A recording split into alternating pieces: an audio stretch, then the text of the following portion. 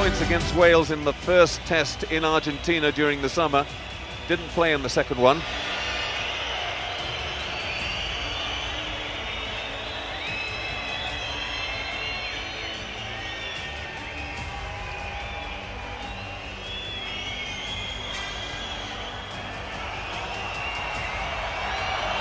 Taking a long time. He almost seems frozen to the spot.